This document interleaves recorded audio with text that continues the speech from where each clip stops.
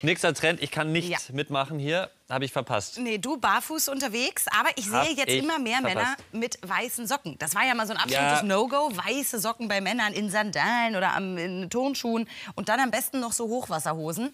Ja. Wenn du jetzt durch Mitte läufst, super trendy. Siehst du auf jeden Fall. Weiße Socken rocken. Hier in Köln dauert es nicht lange, bis wir die ersten Fans der Strümpfe finden. Eine ganze Familie untenrum in Weiß. Warum tragen wir weiße Socken? Weiße Socken sind in, muss man sagen. Das muss überall sein, auch eher in Seattle, wo wir von sind. Von Köln bis in die USA. Weiße Socken sind halt. White Socks are Cool.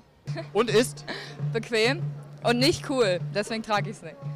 Eben, es ist bequem. Und die weiße Socke ist hier viel mehr. Ein richtiges Gefühl.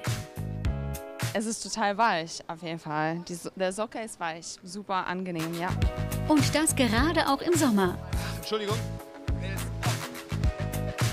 Oh, auch im Sommerfeeling? Ja, auf jeden Fall. Schöne Abkühlung, oder? Total geil. Dieser Look ist einfach absolut in. Doch warum? Das wollen wir heute von der Kölner Modeexpertin Lena Terluther genauer wissen. Früher war es natürlich so ein bisschen so, oh Gott, weiße Socken, äh, deutscher Tourist. Mittlerweile hat sich schon so ein bisschen wieder zum Trend mutiert, war ja schon mal da und kommt immer wieder, wie es eigentlich bei jedem Trend auch ist. Doch wie darf ich die Socken jetzt kombinieren? Sind auch Latschen dazu okay? Ich würde schon aufpassen, wenn man die Socken kombiniert, dass das das einzige auffällige Merkmal ist, was man trägt, weil ansonsten kann es schon so ein klein bisschen verkleidet wirken oder ein bisschen wie Karneval aussehen. Und prompt treffen wir die erste Trendgegnerin. Das sieht gar nicht schön aus. Also ich finde das.